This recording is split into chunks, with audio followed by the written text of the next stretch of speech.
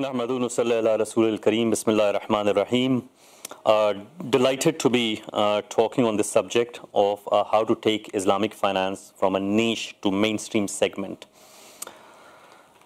So uh, let me start uh, by taking stock of where we are today. And, and this is for students of Islamic finance who are preparing to take the industry from where we are today to the next step, right?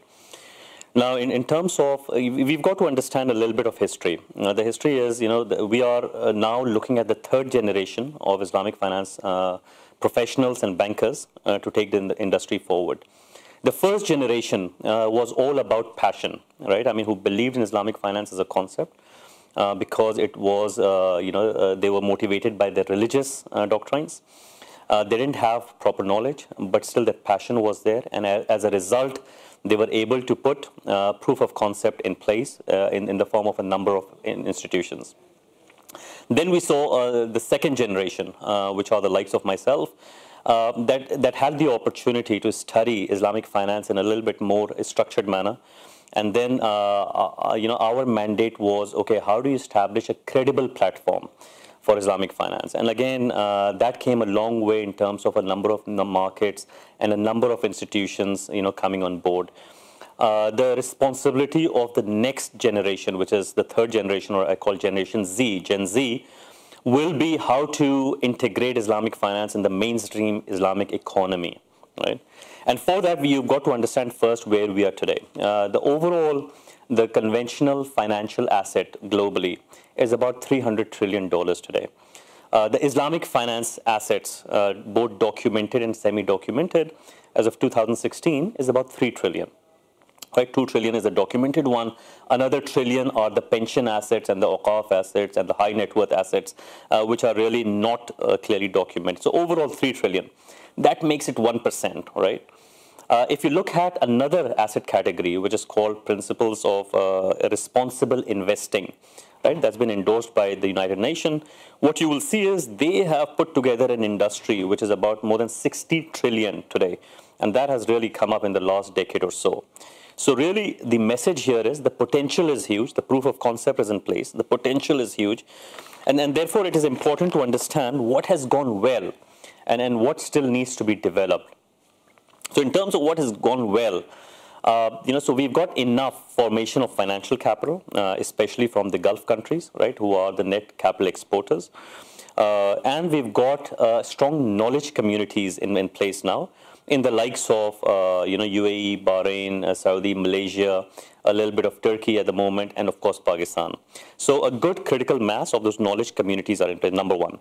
Number two, very clearly, Islamic finance is being driven by grassroots demand. So it is not just the supply side push we are, we are seeing, it is also the grassroots demand that we are seeing, both from people who are religiously motivated, but more so people uh, who are driven by ethical or socially responsible banking, right?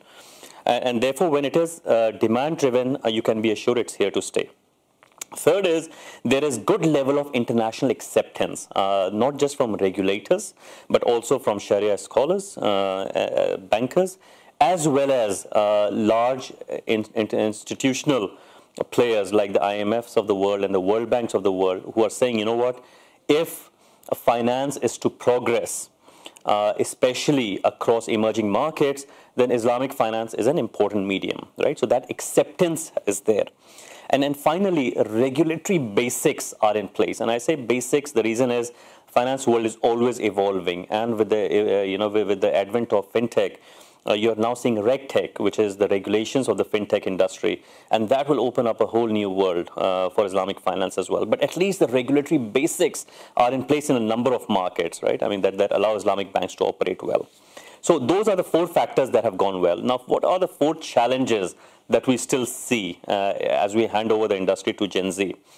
Uh, and, and, first and foremost is uh, we've got to go back to the drawing board and talk about is there clarity of purpose?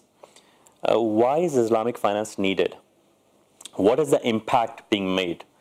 Uh, are the corporates or the business communities or the individuals actually seeing the impact of Islamic finance? Or have we only uh, looked at the form and not the substance yet, and maybe that is the next step. Right? Looking forward. Number one. Number two, innovation. Uh, what is the banking model of the future going to look like, especially the in the emerging markets?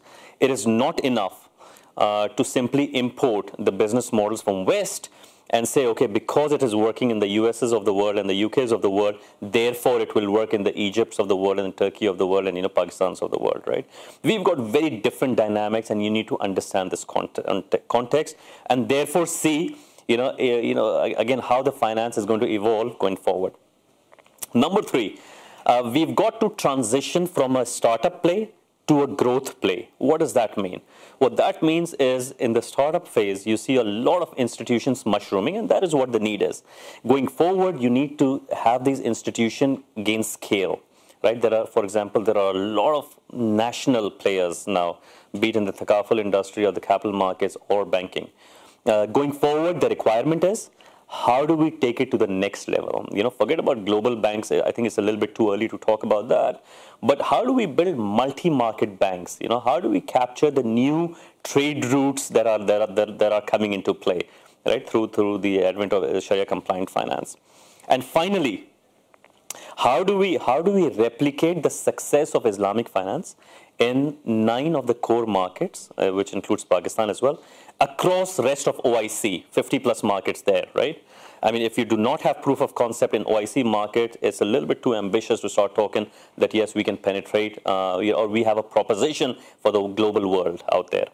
So those are the four key challenges that we need to look at going forward. So uh, for students of finance, I'll conclude this segment by saying that proof of concept is in place, a credible ecosystem is in place, uh, the thought process is what do we need to stop doing and what do we need to start doing in order to take the industry to the next level. Thank you.